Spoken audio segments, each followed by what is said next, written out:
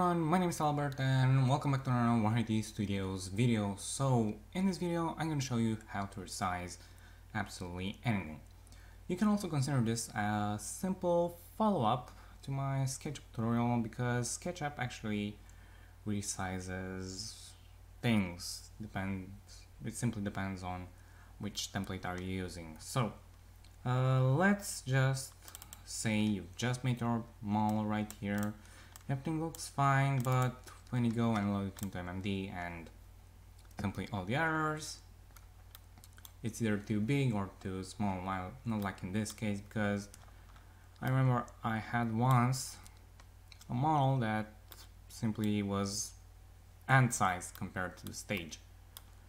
So, let's, for reference, uh, load the model, boom, and left and just make him sit.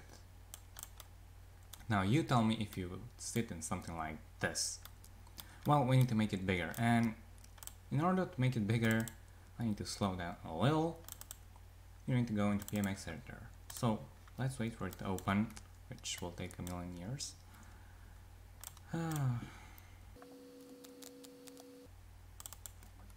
and just simply open up your model.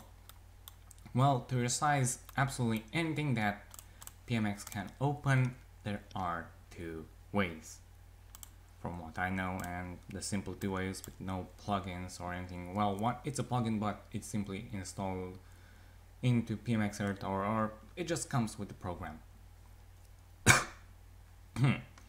so, what you want to do is simply press Ctrl A and select everything and make sure you have the V which comes from vertex selected and just simply go into edit plugin system and size change tool well this is one plugin that you simply use when you know that simple exact size or you just know 4 or 4.4592 and yeah all the others and you get it right, but in this case I did not get it right, and I'm simply gonna press Ctrl Z, and again Ctrl A, or if they are small enough, just like this, Ctrl A, and on MOV or object manipulation, where it says right here scale, you can scale the object like you can make it extremely long, extremely thin, like this is paper thin and yeah you can simply manipulate. But in those cases I don't want to do that. I just simply want to make it a little bit bigger. So you're gonna press and hold down scale and make it bigger. So where do you know or when do you know when it simply fits your model? Well you just look and it's just one trial and error thing. I know it's annoying but still this is one of the best methods methods that I could find. And I know it's annoying, but still better than just simply going with the, the wrong thing with the plugin because yeah, like this is much better, especially if your computer is extremely fast and just simply save or no, export because this is the uh, .x file Save, yes, replace, yes, thank you.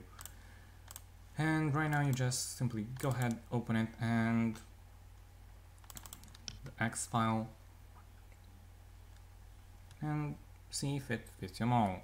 Like I said, this is a trial and error thing, which just sucks, by the way. And simply gotta try till you succeed. So I'm gonna speed everything up. Or not because this works apparently so uh, I think that's the right foot.